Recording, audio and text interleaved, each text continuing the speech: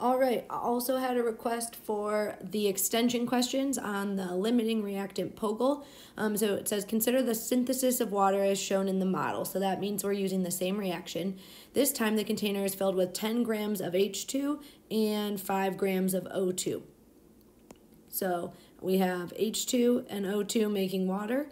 Um, so which one reactant is limiting? So always limiting and excess refer to reactants, never products.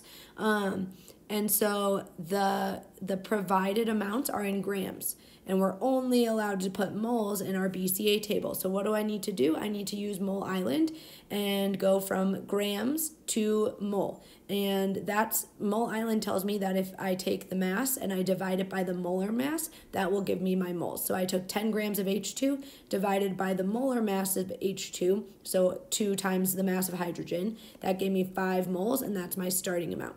Then I take my 5 grams of O2, divide it by the molar mass of O2, which is 2 times 16, um, and that gave me 0.156 moles as my starting amount of oxygen.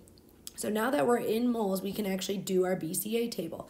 I don't have any of my hydrogen or of my water of my H2O to start. So I'm have this before and this before, right? Like when you take the ingredients out of the, your pantry before you start baking, that's what we have to start, but no cookies yet.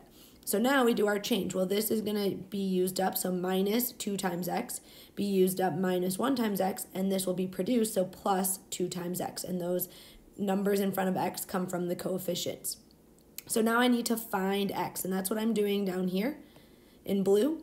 So I take 5 moles divided by 2, and that gives me 2.5. I take 1 point, or excuse me, 0.156 divided by 1, and that gives me 0.156. And I compare those. The smaller one is my X, which means my superstar is the or is the chemical that gave me that x. So x will be 0.156 and that's for all of the x values because it's all about the superstar.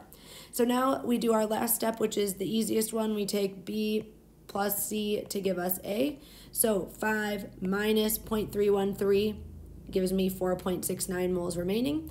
0.156 minus 0.156 gives me 0. 0 plus 0.313 gives me 0.313. This first question says, what was my limiting reactant?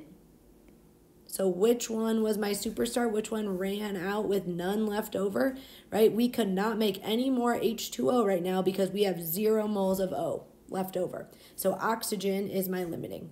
What is the mass of water that can be produced? Well, here's how many moles of water can be produced. Maybe I'll shake up my color.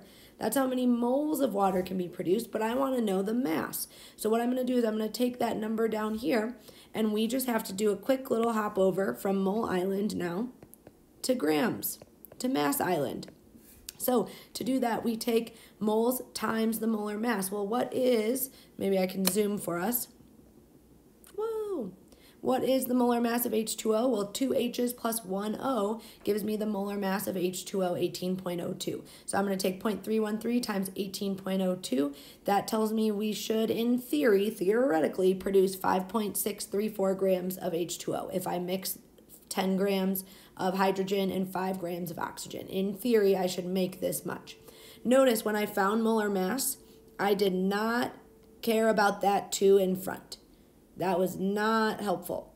All I cared about was the formula for H2O. When we learned how to do molar mass, you did not even know how to balance equations yet. So don't use that big 2 to find molar mass, just the little 2 after the hydrogen, H2O for the molar mass.